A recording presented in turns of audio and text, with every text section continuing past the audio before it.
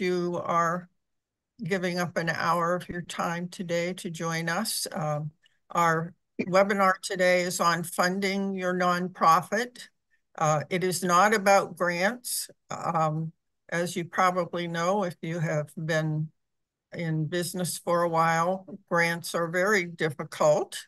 Uh, and we do have another webinar coming up on uh, basics of, of grants. But this is for the alternative types of funding that are available to you as a nonprofit. Um, but first, I want to give you a little information about SCORE. Uh, so SCORE is the largest network of free volunteer small business mentors in the nation. So no matter what stage your business is, we can find a mentor that will help you. Uh, aside from the 100 uh, approximately mentors that we have in Cleveland, there are 10,000 across the country that we can tap into if you have a special need that we are unable to fulfill. So no matter what uh, your business is, you can go to our website, sign up for a mentor, and whoever you start mentoring with can call on anyone across the country to co-mentor.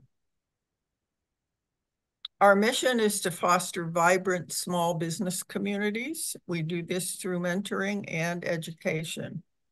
Our purpose is to give all of you as small business owners the support that you need to be successful.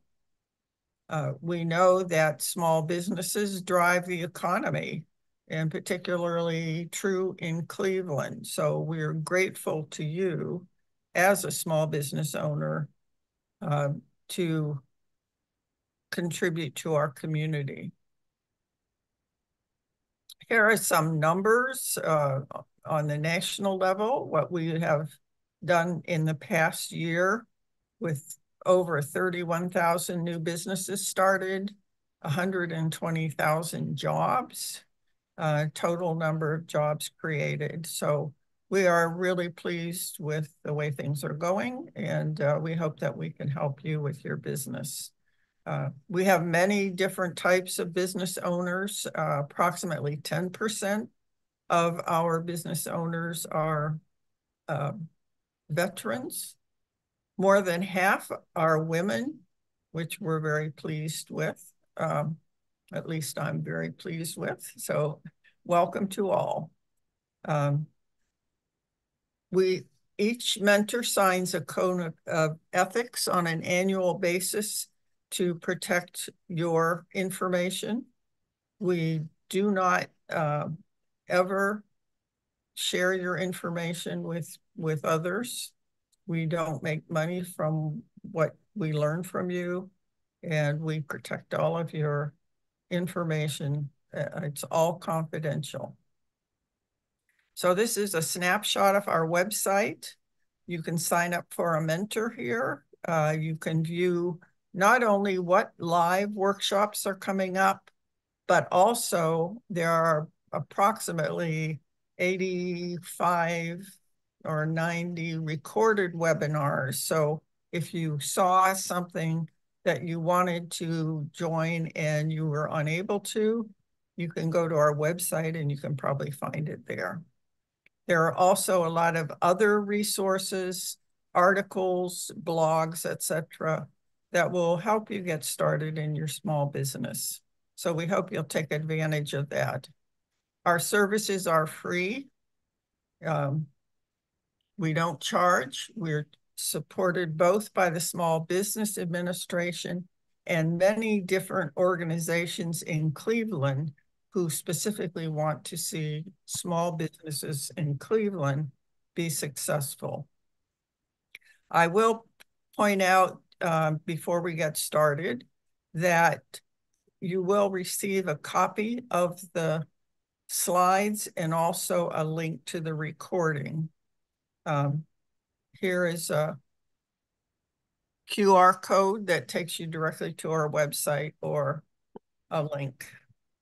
So I'm going to stop sharing and I'm going to let uh, Bob Fedor, who is our presenter today. Um, again, yes, you will receive a copy of the webinar. Um, and Bob, you can bring up your slides and get started. I, are they, can you see them now? Yep. Okay. Yes.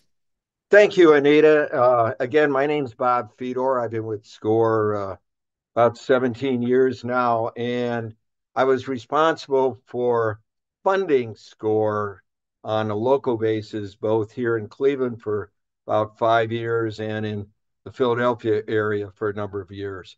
Uh, I've also had a large number of nonprofit uh, clients who are looking for funding, and uh, it's so I've had a reasonable amount of experience.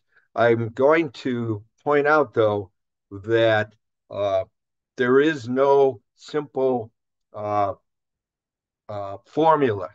It really depends on your nonprofit and who might be able to fund it. And we'll go into that in detail, but there's no simple template. That's the word I was using.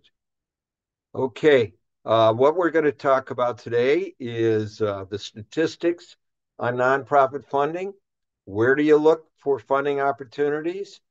Uh, how to identify opportunities that are the most relevant for your business and things to consider about individual donations.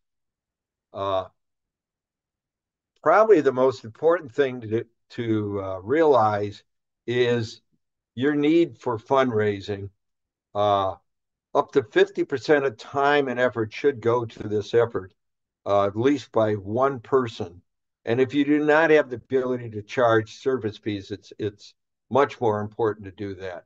Uh, of course, the greatest need for nonprofits is money, uh, and uh, that's what we're going to talk about for the rest of this presentation, how to get that money. Now, typical sources of uh, the uh, funds is about half in general come from service fees and sales of goods. Uh, about 25% come from government contracts for services, and charitable giving uh, typically accounts for less than 25%. Now, that varies tremendously. Now, as I mentioned, SCORE is a nonprofit. Uh, we do not get service fees in sales of goods. We choose to give all our services free, such as this webinar. We get some money from the SBA that would follow, I guess, under government contracts, and the rest of our funding, 75 or about 85% of our funding, comes from charitable giving from either uh, foundations or corporations.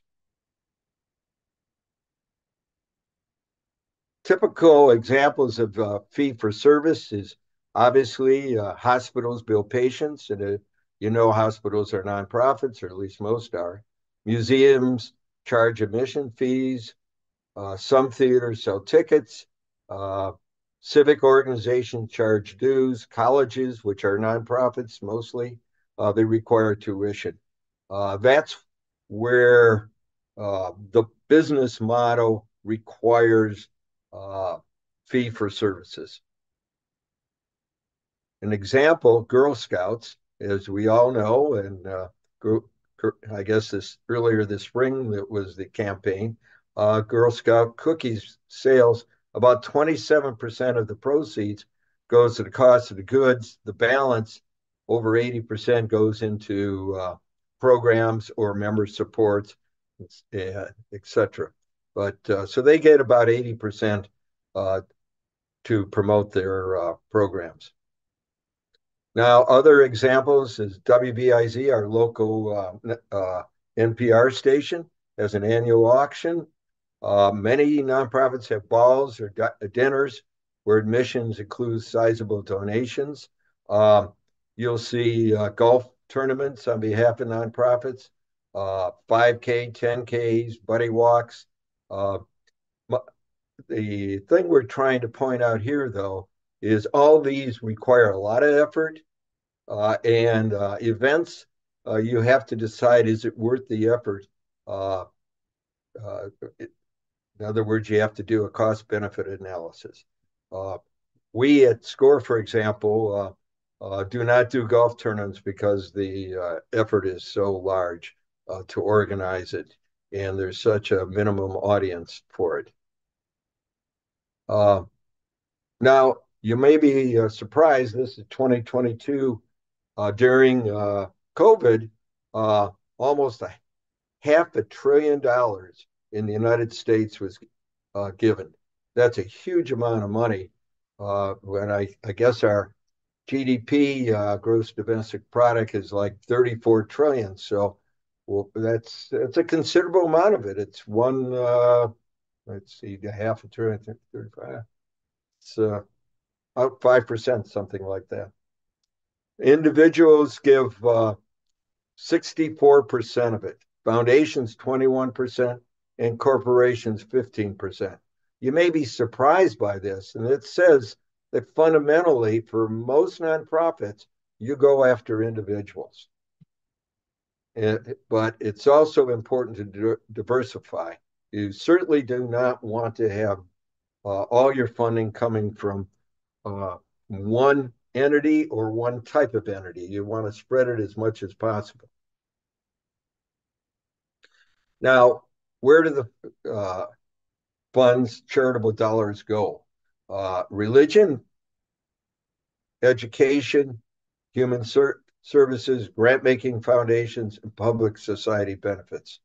Uh, it, it, despite the COVID, uh, donations increased in every sec sector uh, and uh, increased very significantly for arts, culture, and humanities, which is a very good thing. Uh, that people recognize that uh, despite uh, the problems of COVID, that uh, uh, these uh, efforts are well worth the investment. Now, individual giving, when it comes down to it, what we call the Pareto principle. 20% of the donors usually provide about 80% of the funds. Uh, you have to identify your highest yield donors and you have to go at them uh, in any way you could communicate with them uh, to identify them and to follow up with them. Now, uh, sorry for the slide confusion here. This uh, slide shows how the various uh, age groups uh, millennials, baby boomers, Gen Z, uh, how they uh, give. And it, you can see that online uh, is over 50% of uh, through through credit cards, debit cards, uh, over 50% of the donations. Cash is fairly small and but the importance of online, and, and if you look at the, the bottom set, you see that whether it's through social media, email, or website, uh, you, you have to have a program that reaches out to all that all through all these means. Uh,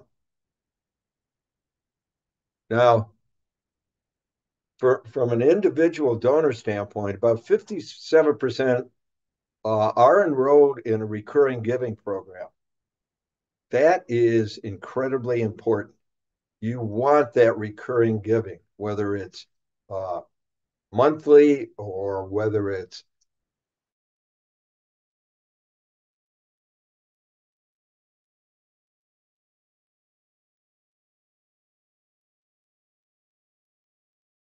uh, you spend money continue that uh, donation. Uh, one-time gifts average about $121. Uh, and also, 9% uh, of the individuals participate in workplace giving programs where there are matching funds uh, from their uh, place of business. Now, is this a good time to ask for funds? Absolutely. Yes, there is inflation, but it's not historically affect charitable contributions. And as I said, even during COVID, contributions were uh, expanding. Of course, our economy is still expanding, And many people have large cash reserves, uh, particularly, uh, uh, you know, uh, probably the older you you have, uh, including retirees, they that's where a lot of the cash is sitting, and there it's available if you can give them a good reason to uh, donate. Uh, people, it feels good to give, and uh, you know, uh, and you have to find those prospects, whether you know what their age is, what their income, their tax status, uh, are they on Social Security? Uh, even though inflation's a problem in the economy, it's not the same to all.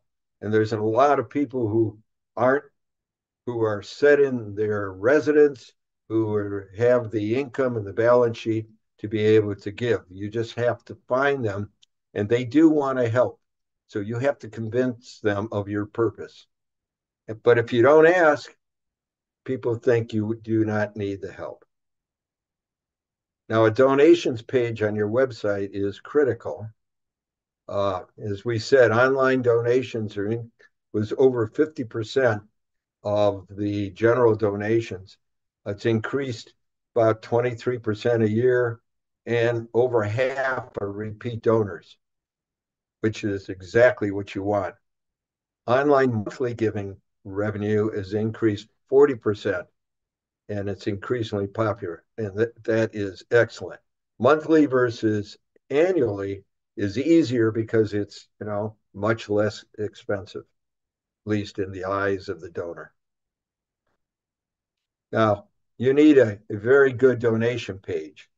Perfect donation page uh, is what you uh, have to uh, strive for so that you can raise more money than ever. Uh, and it needs to have features that'll engage the donors.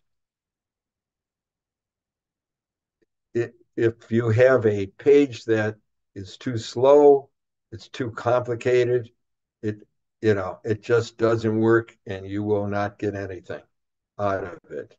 Uh, the worst thing you could do is force a donor to create an account in order to make a donation. It's a terrible idea that would drastically increase your number of incomplete donations. Uh, so please don't force people to make an account. Keep it as concise as possible. Make sure your branding is consistent. Obviously, you have to tell how the money will be used. Optimize for mobile because probably more than half the people will use their phone as opposed to their computer. And then you must have a process where you immediately thank the donors. Make sure your page runs on multiple platforms. Check out Microsoft Edge, Google Chrome, Firefox, etc. Make sure your website is secure if you're collecting data. Now, in individual giving, you must have budget projections up to date and available to show everyone. You have to constantly re examine your case for need. Make sure it's relevant in the light of COVID, uh, revise based on changes forced by COVID. Now, you may say, well, COVID's over.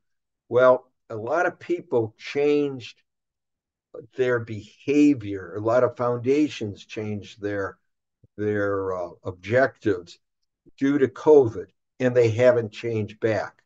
They still may be li- uh, working remote. They still may be favoring food banks as opposed to cultural entities. Uh, SCORE had problems with a number of its uh, of its uh, funders uh, during COVID who said that they've changed their priorities away from new business entrepreneurship to social services such as food banks. Uh, even though COVID's over, they retain that bias, and you have to go and redo your your pitch, your your your demonstrate your need, uh, and try to convince people that uh, uh we're in a post-COVID uh, scenario. And therefore, you have to make donor recruitment and fundraising a high priority. And as I said earlier on, at least half-time person has to work uh, at this. I spent probably five years, pretty much half time, uh, score, uh, just attending events, reaching out to uh, potential donors, and trying to uh, update them on our progress. And that's very, very important. Once you get a donation, you have to continue to give updates on your progress so that people uh, know that their money is being uh, well utilized. So you have to come up with a statement of need. That's the bait. And you have to write it, you have to know it inside out and backward. You have to cast a vision uh, that is so compelling that it convinces them to make a gift. It, and it has to be written from the donor perspective. Tell the donors why you need funding and what outcomes you expect from their investment. It's why you need their money and why their investment uh, is important. That to and why it should be done now. Uh, you have to work on this. One thing, uh, it's possible that uh, uh, you know you, once you do it, you would have to update it fairly often as you make progress and you change uh, the needs for the your your need for the money. Can I make a comment here? Sure. Um, I have a client who um, has a nonprofit that helps kids um, get school supplies and so forth. Um, and one of the things she does that I think promotes donors to give more is she will say, if you give me $10, that will purchase you know, so many notebooks, etc. If you give me $25, that will allow me to buy a backpack and fill it with certain things. So, you know, if I'm looking at the website and I think, well, maybe I'll I'll give five dollars. If I know ten dollars is going to purchase a, a package of stuff, I might be encouraged to give 10 instead of five. And then maybe 25 instead of 20. So if you can give people a picture of what their donation is going to purchase, that goes a long way to encourage them. I'm done. Very good. Uh, so in your case statement, you have to evoke emotion. You have to paint a picture of why someone should invest in you. Why are you unique? Why is what is the history of your organization? Why did it it developed? Explanation of your programs. What difference are you making? How will the funds be used? What difference will your gift make? What can you do to help? Um, in in part of this is you don't necessarily have to ask just for money. You might ask for volunteers. We at SCORE ask for volunteers all the time because uh, we're a, an all volunteer organization. So if you need uh, more than uh, financial support, or you may need uh, you know help, hands, you have to put that request uh, in your case statement. Now, one of the ways uh, to get individual funding is through crowdfunding, which is uh, reaching out to a much broader uh, audience uh, through the, uh, the, the internet. And you you set a goal, you tell your story, you involve supporters, you add pictures and videos, uh, and you're doing this on a platform uh, which uh, we'll list in the next slide, the various platforms. Uh, you must communicate through email, uh, text, share social media, and of course you have to thank donors and and and this process with withdraw funds. This is crowdfunding process, but you don't do this independently. You have to use a platform. Here's the top crowd crowdfunding sites for nonprofits. CauseVox, Fundly, Causes, Rally, CrowdRise, Ignition Deck. Many are free to use, but there's always going to be a fee for the donations. They have to get paid somehow. Uh, so they they sort of control the process for you. Uh, but it really comes down to you, uh, much like individual uh, uh, seeking individual donations, you have to present the case, and it's just a way to get it out to a much, much broader audience.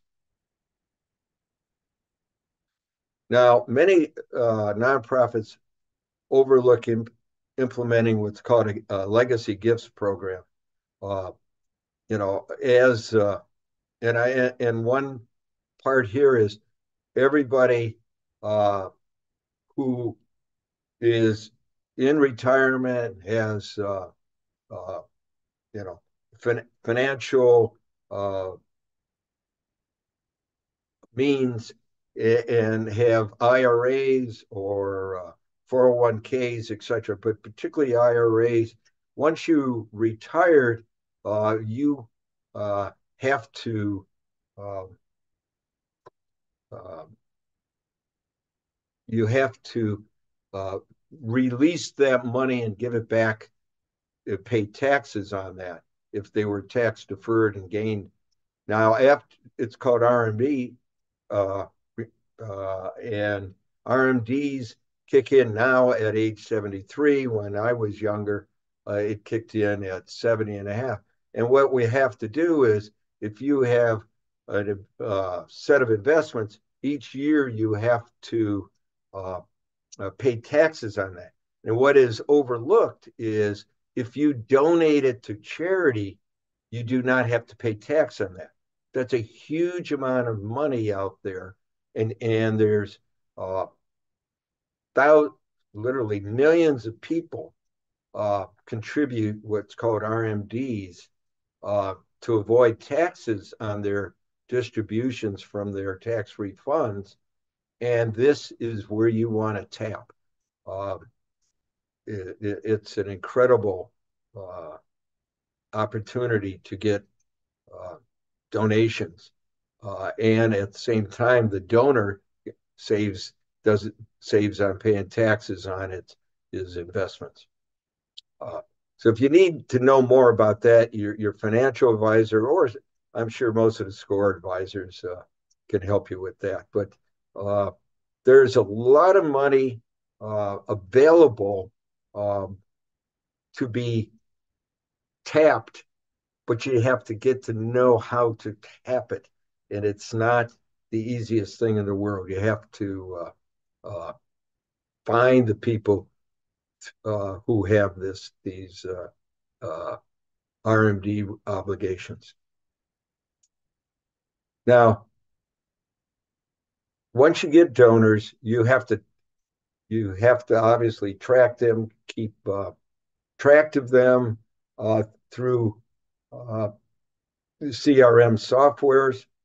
The uh, here's four of them: Bloomerang, Donor Perfect, Network for Good, Salesforce. Uh, it depends on how many donors you have. SCORE has a handful. We don't need software. We can use a simple uh, spreadsheet. But if you're going to get small number of donations from a large number of people, you need a network uh, uh system to track your donors.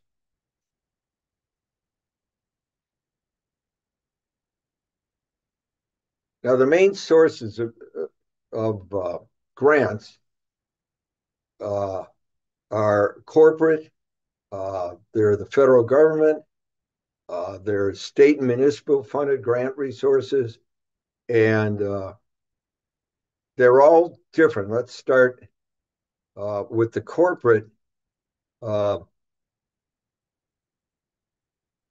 first of all, corporate giving programs can be one of two types.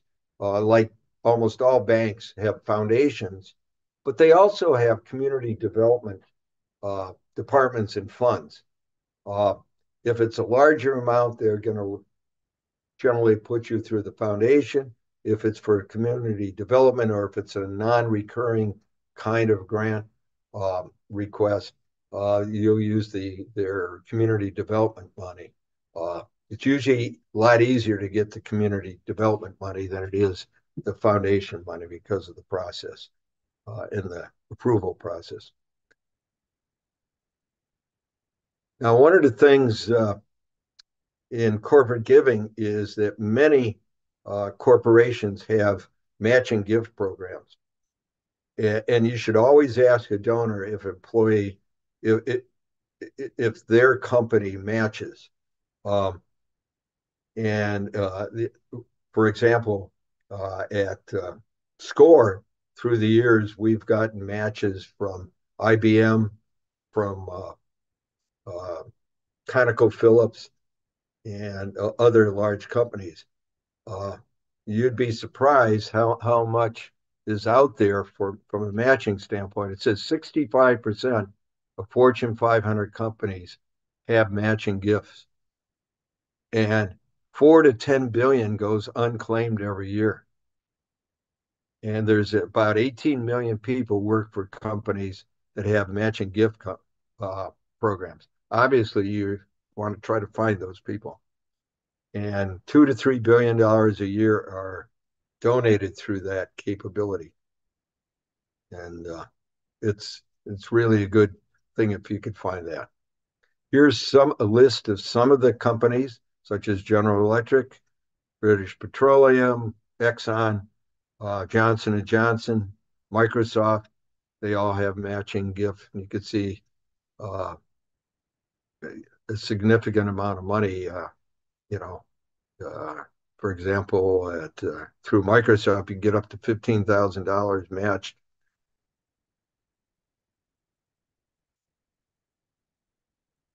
Now, uh, there are a lot of private foundations out there.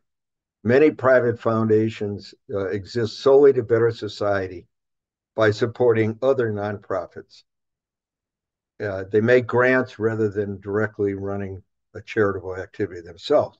A couple examples would be Cleveland Foundation, Community Foundation of Lorain County, for example. Uh, they uh, gather donations from other people and other companies, and they manage the process of giving it to other nonprofits. And so they don't run charitable nonprofits themselves, they support charitable nonprofits. These funds are, uh, such as Cleveland Foundation, are extremely important. And if you, you uh, it's very easy to go identify them, go online, and understand their missions. And if you can uh, match their mission, then it's pretty easy to follow their process to get funding. I'm not saying it's easy to get funds. I'm saying it's easy to to apply for it. They are very difficult to get. It takes and it takes a lot of time through private foundations. Oops. If you're going to apply to private foundations, you need a cover letter, a business plan, that's your case statement, a description of your mission and your need your, uh, for your nonprofit, what you will address, project budgets and financial needs. Uh,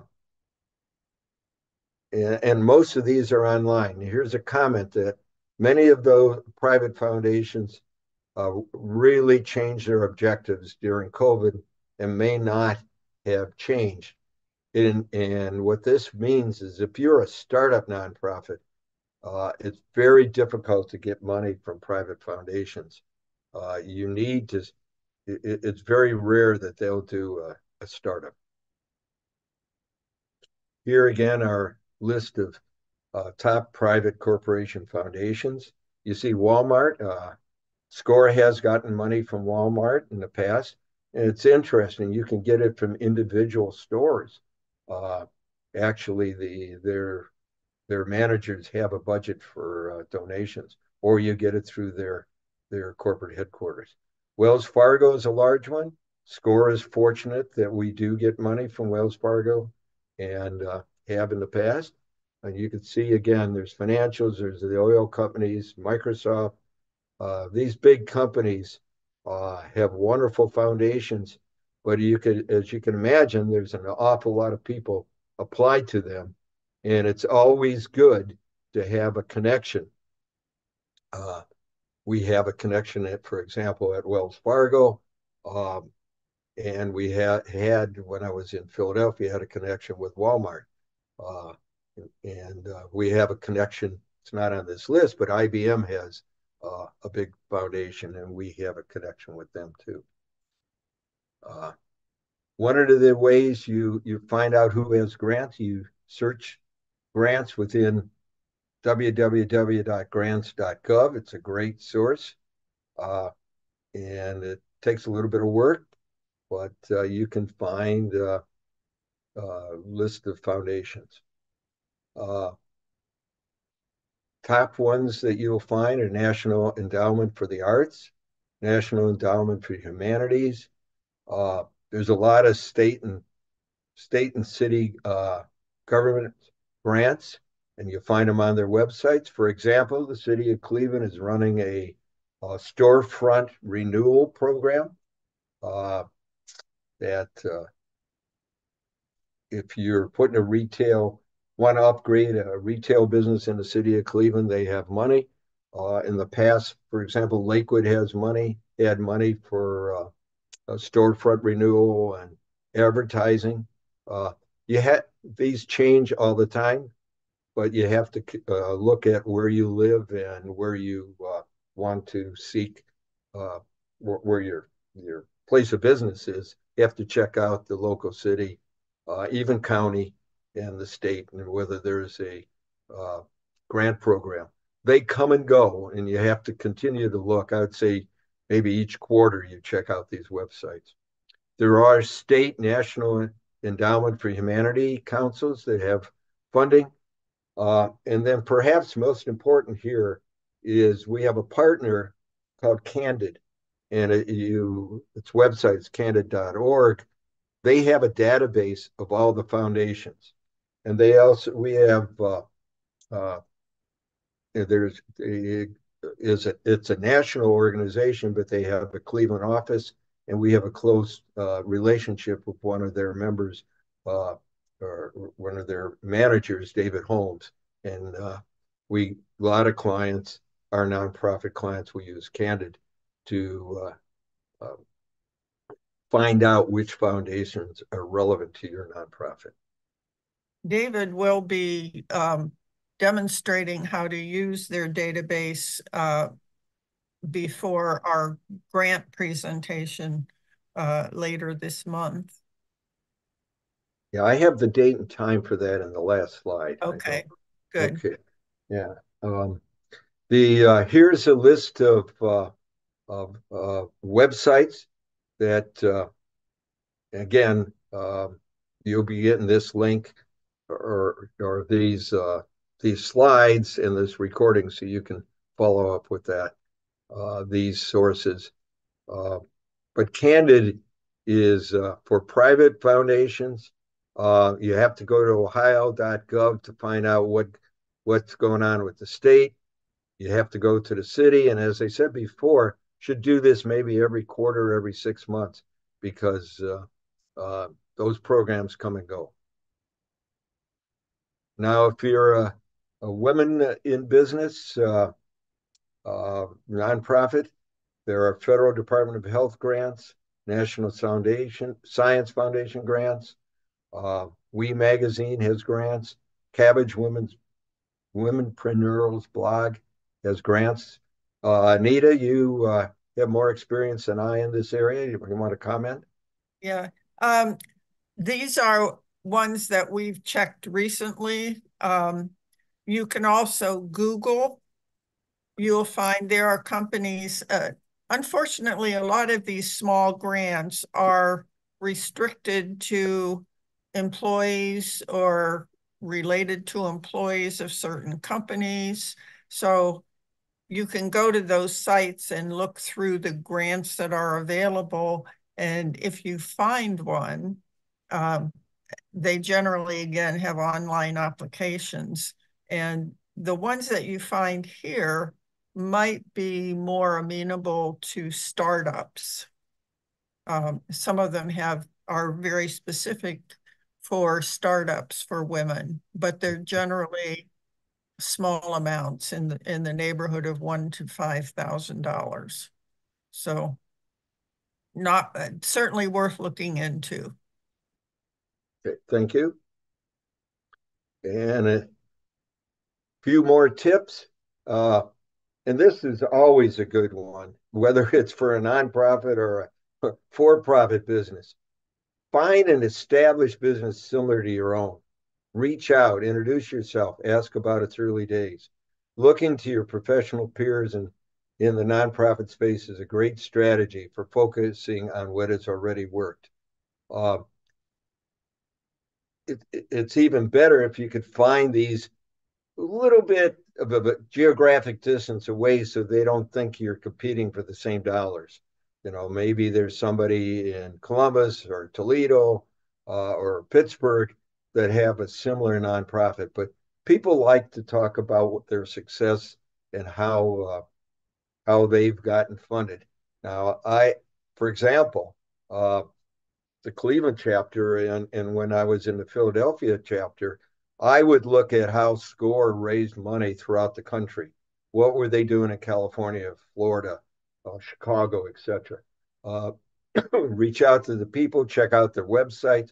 Often, other nonprofits will list their sponsors on their websites, and it'll give you an idea uh, on, you know, what type of uh, uh, company has funded similar efforts, and uh, you'll find out this particularly for banks. Banks fund very similar things throughout the country and uh, you got to go identify. But all banks have, most banks have different missions.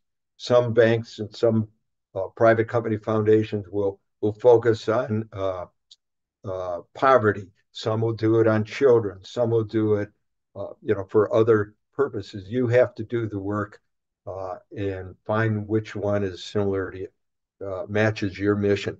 But you don't have to uh, invent the wheel here. There are similar organizations somewhere in the country and they're getting funded. Find them, see how they're getting funded, see who the, the uh, give you an idea of who to reach out to them. And with the internet, it's really easy to try to uh, get this information. Now, the other thing is if you're a startup nonprofit, and you've just uh, applied for your 501c3 status, uh, as you know, donors cannot get tax uh, deductions unless you have a 501c3. That's why you get one. So your donors can get tax uh, relief. But you don't have to wait until the government actually grants you that. You could say that it's pending in essence. And um, you could start the process of getting your funding uh, saying that you've applied uh, for the 501c3. Now, grant writing skills, uh, we will have a separate class on that uh, webinar coming up. In fact, Anita and David Holmes will be presenting it. Uh, and uh, but it's incredibly important to most nonprofits. Unless yours is a national level institution, and I assume it isn't, uh, it's going to be depending on you how you're going to write your grants request. Uh, you can't, Candid does have writing classes uh, to help you start. Uh, my own experience was, you know, uh, to write grants for requests to foundations on behalf of SCORE required a, an intimate detail of knowledge of SCORE, of your nonprofit. It, and hiring a, a, a grant writer, everybody say, well, what can I hire a grant writer? Well, you can, but you're going to have to teach them about your organization. And um, the online forms that you have to fill in are so detailed on what your purpose, what your financial details are, all your history, etc., that you're going to find out that it's probably best to do it yourself. Now, on the other hand, uh, if you have once you do train a grant writer who would know your your capability, then that you know that would work out in the future. But the beginning for a startup, it's very difficult to get a grant writer to understand what you know in your head or you what you have is a business plan. So that's my personal opinion. Now, as I said, uh, the grant writing basics, I'll go th through this in reverse, the, with Anita and David Holmes is very important. Uh, it, will be on July 3rd at noon. And, uh, but we'll have one uh, on building capacity for your nonprofit. And that's you, Anita, isn't it? Uh, how to expand your nonprofit. That'll yeah, be, no, I think Dan, I think oh, Dan Yerman will be given. Okay. Yeah. Uh, that'll be on uh, June 26th at noon also. And mm-hmm. it's not here, but we also, we, I just got an uh, email this morning.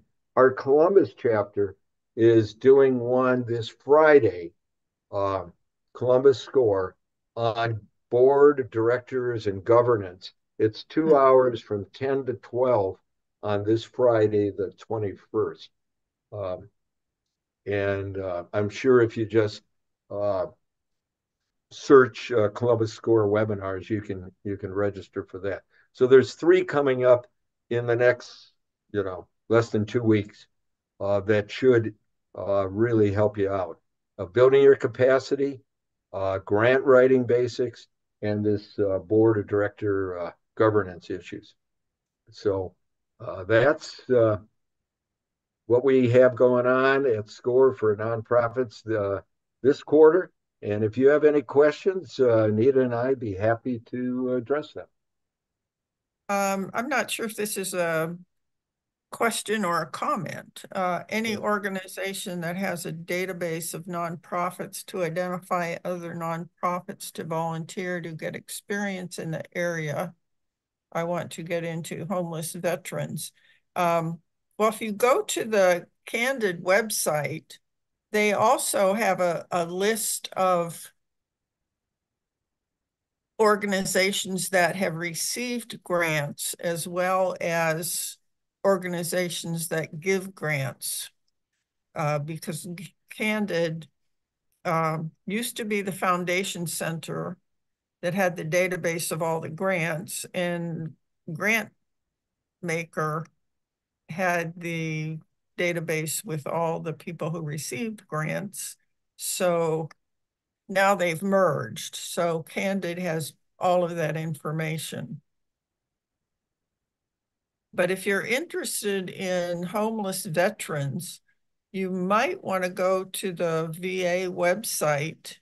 Um, they have a voucher program for some veterans, but in most cases, if you, um, for instance, are looking for housing homeless veterans, you would expect that most of them would be self-pay or perhaps qualify for Section 8.